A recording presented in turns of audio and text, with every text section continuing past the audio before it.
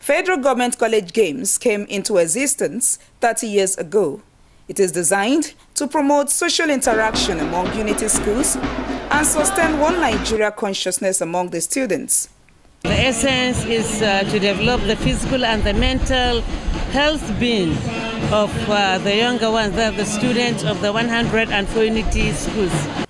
President Muhammadu Buhari was represented by the Minister of State for Education, Chukwuemeka Nwajiuba. Every Nigerian is a stakeholder in any of the schools because um, we do not, they are not community-based schools.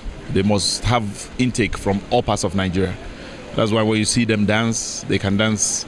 You can see Northerners dancing Efik dance, or you see Igbos dancing Fulani dances because we it's, it's, a, it's an avenue to understand Nigeria and in the same spirit, that's what the games represent. I would like to urge them to explore the city and savor the hospitality of the people of the state. Chairman of the event, Dikin Akie Dagogo Fubara, was pleased with the activities lined up for the six-day games and commended the state governor Nyesom Wike for providing a conducive environment for the competition. I urge the federal government to establish an academy.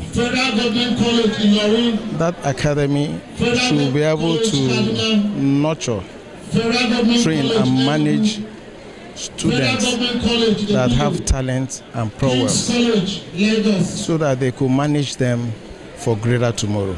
The students were delighted to have in their midst a one-time head prefect of Federal Government College Port Harcourt, Senator Godswill Akpabio, who also is the special guest of honor.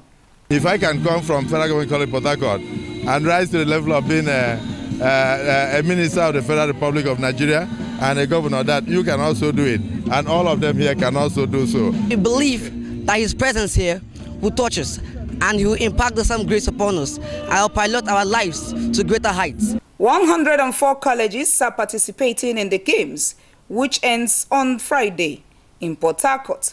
Osinachi Abraham, NTA News.